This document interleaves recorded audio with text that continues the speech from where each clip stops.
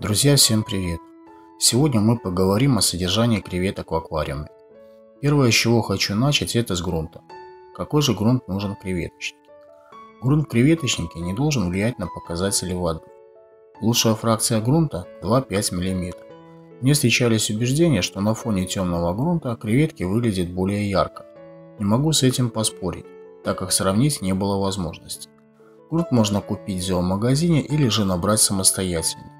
Если вы решили набрать грунт самостоятельно, то нужно хорошо выбрать место сбора. Городской черте этого делать ни в коем случае нельзя. Лучше выбрать озеро или реку в экологически чистом районе. Укладывать грунт нужно толщиной слоя не менее 3 см. Но прежде чем набранный грунт уложить в аквариум, его нужно подготовить. Сначала грунт промывают, удаляя из него мусор, после чего грунт варят в течение часа. После того, как грунт остынет, его можно укладывать в аквариум. Следующий наиболее важный вопрос – какую воду лучше всего использовать в креветочнике?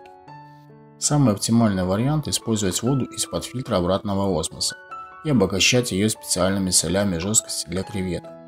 Почему же лучше использовать обратный осмос, а не воду из-под водопровода?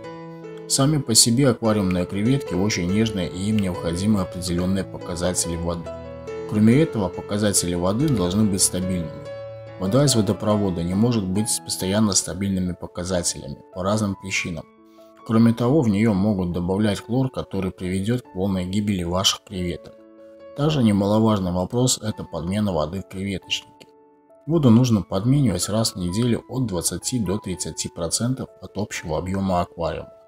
Это необходимо делать потому, как в процессе жизнедеятельности креветок, остатка корма или разложения отмерзших листьев растений – в аквариуме будут накапливаться нитраты. Благодаря подменам воды уровень нитратов держится на приемлемом уровне.